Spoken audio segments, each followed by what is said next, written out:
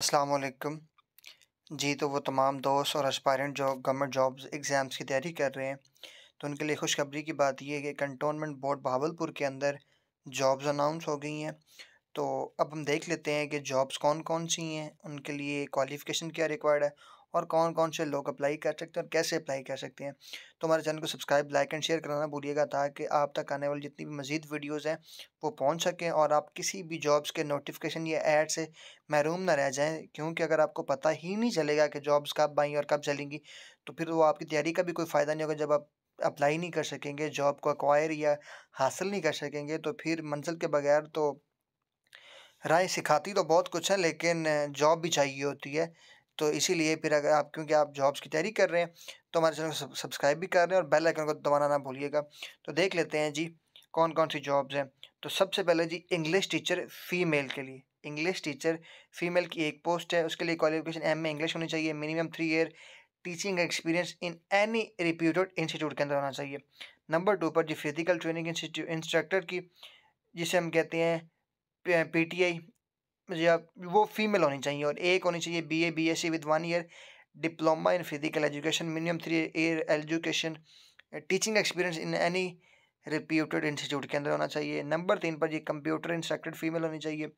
दो पोस्टें हैं M C S B S in relevant subject minimum तीन साल का तजर्बा होना चाहिए। कारिया टीचर कारिया जो फीम जो पढ़ाने वाले होते हैं ना फीमेल्स पढ़ाने वाली होती हैं, या फिर कोई मेल पढ़ाने वाला हो तो ये जी तीन ये इनकी भी एक पोस्ट है, इनकी भी एक पोस्ट है। तो ये कारिया की एक पोस्ट है complete command on Arabic language having sufficient knowledge of Quran and Hadith Qari two year अब देख two year certified tajweed from registered madrasa shall be preferred तो उनको प्रेफर्ड किया जाएगा। नंबर पाँच पर जी मॉन्टिसरी टीचर मॉन्टिसरी टीचर्स की जॉब्स है जी। तो ये जो होती है ना, ये छोटे जो क्लास होते हैं जो छोटे बच्चे होते हैं, उनके लिए फ़ीमेल की जॉब है, एक जॉब है। Diploma in early year education or equivalent minimum तीन साल का तजर्बा होना चाहिए, जी। टर्म्स एंड कंडीशन क्या है? Candidates should clearly mention the post against which they are applying. कि वो किस पोस्ट पर पहले थी, उनके अप्लाई करने के लिए वो उस पर मैंशन करें। Candidate already in government service shall apply through proper channel, वो भी अप्लाई कर सकते हैं।